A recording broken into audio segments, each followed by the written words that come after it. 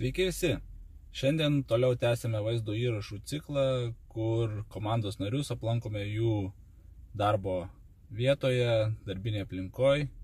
Ir šiandien mes važiuojame į Kauno priešgaistrinės gelbėjimo valdybos penktą komandą, kurioje darbuojasi vienas iš OCR Baltic Warriors komandos įkūrėjų, Darius Baranauskas, kuris šiemet pasaulio čempionate parodė tikrai gerą rezultatą trumpoje distancijoje, pasirodęs geriausiai iš lietuvių ir 3 km trasoje užimdamės 14 vietą. Na štai atvykome pas Darių darbovietę. Bandysim ieškoti.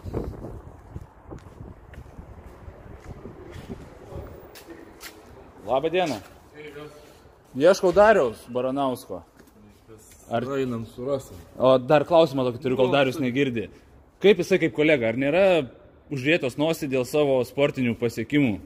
Kolega, ne, nėra šiaip, jisai toks labai užsispyręs, nori siekia savo tikslų, žinai. Manau, jos pasiekė, jeigu rodo tokias pastangas, žinai, tai... Supratau. Manau, sekasi jam. Supratau, gerai, kur galim rasti Darių.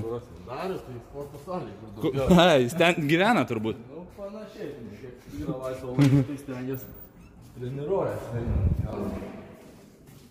Dariu, pusiu. O, svečių. O, labą dieną. Pa, pagavome eigoje. Sunku apmokymuose lengva mūšė. Jo, greičiausiai. Dabar užkabinu. Opa. O, tai Kurios iš pirmo karto pavyks. Super. Dariau, matau įsirengęs tikrai gerą sporto salę čia. Sakyk, gal aprodys mums ją? Jo, aš parodysiu, ne, ne pats čia, ne, ne, ne viską čia pats pasidarė su kolegos. Iniciatyvą turim e, Gintarą Alpinistą, kuris čia didžiąją darbų dalį padarė.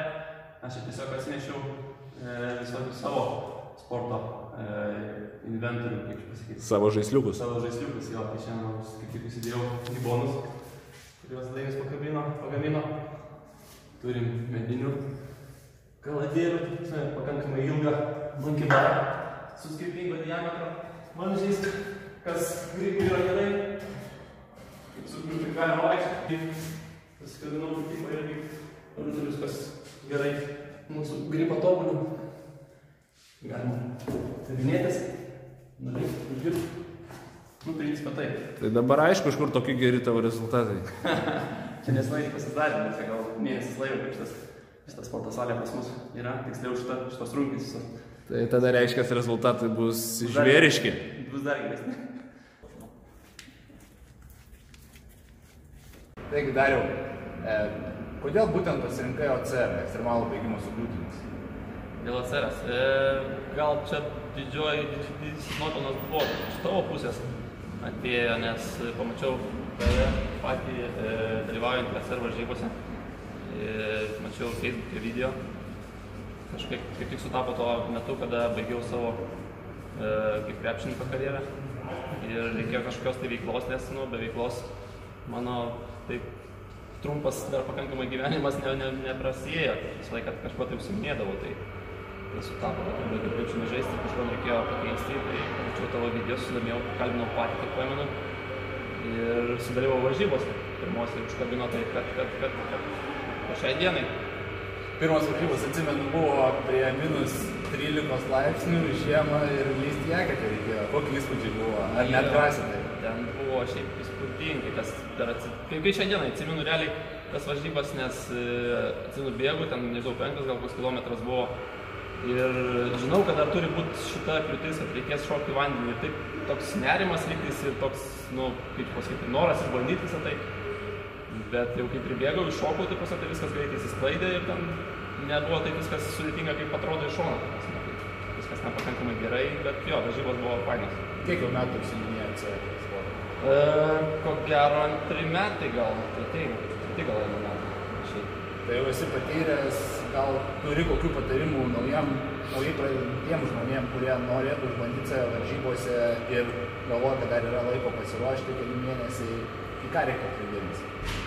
Taip, pagrindas, aš nežinau, pirmas, kokiais, kokiais tikslais norit uh, užsiimti sportą. Jeigu norit kažkokį tai rezultatų pasiekti, reikia vėlgi daugiau pastangų įdėti, bet jeigu norit tiesiog palaikyti savo fizinę formą, kaip ir aš atėjau, aš atėjau su mintim, kad, nu, tiesiog, kad, kad kažką veikti, būtų įdomu, kad sportu užsiimti. Tai tokiu atveju, ta prasme, yra šiek tiek paprasčiau viskas. Aišku, treniruočių reikia, pagrindas yra bėgimas, bet e, šiek tiek reikia ir fiziškai pasiruošti, tai vėlgi pristraukimai, kabojimai ir panašiai. Tai tiesiog treniruotis, norėti ir, ir šiek tiek turėti pinigų, nes tas sportas pakankamai nepopuliarus Lietuvoje dar yra iš tikrųjų, tai e, mažai varžybų turi Lietuvoje. Realiai vienos varžybos Alfaranas, kurios yra grinai prie OCR. Tai jeigu nori kažkur daugiau sudalyvauti, turi važiuoti į kaiminės valstybės arba netgi toliau tiek. To, o matau, esi fiziškai gerai pasiruošęs. Kaip tau šitas sportas pasiruošimas varžybom padeda tavo profesinėje veikloje, dirbant ugniagesiu? Aš įsivaizduoju, kad nelaukiu, kol kolektyvas įskleis, o pačias lipi balkonais į viršų įdeginti būdą. Jeigu yra galimybė, taip. Ir, ir, ir bandau visą laiką tą daryti. o jeigu rimtai, tai šitoje veikloje, ta prasme, profesiniai, tai ypatingai svarbus yra fizinis tavo pasiruošimas, nes tikrai dažnai reikia ir laikais pabėgioti, ir kažką tai panešioti, ir, ir nu, būti fiziškai stipriam pakankamai. Tai e, čia vėlgi buvo pagrindinis galbūt niuansas, kodėl aš pasirinkau būtent šitą profesinę veiklą, nes, kaip minėjau, tas sportas neatsiejamas yra nuo manęs, tai, tai tas labiausiai žavėjo. Tai va, kaip matėte, turim sporto salę, turim čia tikrai aktyvių žmonių, su kuriais ir futbolą žaidžiam, ir tinklinį žaidžiam. Nu, ta prasme, užsiemam visom aktyviom veiklom, kurias tai sugalvojame čia vietoje, galime, turim galimybę įgyventi. Ten ir futbolo lauką turim, dar neparodžiau iš tikrųjų, kad Smagu. turim veiklo. Smagu tikrai apžiūrėjau salę ir laisvalaikio zonas tikrai traukiantis dalykas, kaip galima pasakyti. Įdomu tikrai. Kitas klausimas dariau, prieš pusantrų metų maždaug mes turėjom svajonę sukurti komandą. Ir sukūrėm. Kodėl, kodėl norėjai sukurti komandą? E, labiausiai tai gal dėl to, kad, e, aš kaip sakau, dviese e, visada yra lengviau negu vienam. Tai kuo daugiau žmonių, tuo daugiau, tuo didesnis populiarumas šio sporto, tuo daugiau entuziastų, tuo daugiau žmonių važiuoja varžybas.